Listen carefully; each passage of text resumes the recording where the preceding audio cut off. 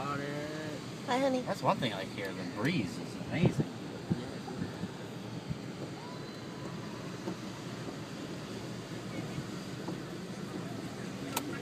Hard to line